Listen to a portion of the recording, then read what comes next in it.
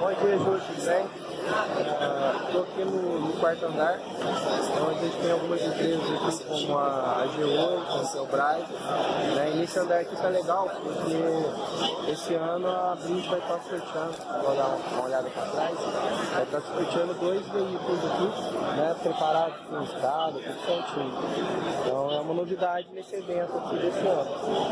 Uh, eu vou estar andando aqui um pouco hoje, está sobrando mais tempo, mostrando o que está tendo de novidade. Está tendo bastante novidade, né? então esse aqui é o, é o quarto andar.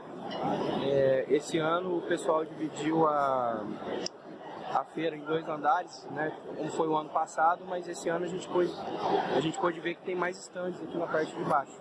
Né?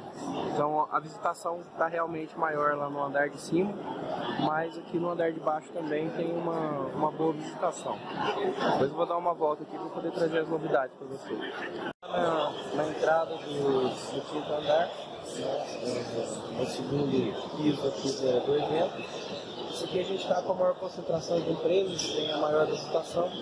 O gerenciamento está na parte de baixo, né? então a gente pode ver aqui que esse ano ficou bem organizadinho, entrada e saída. Então o evento tem melhorado bastante nessa questão de infraestrutura.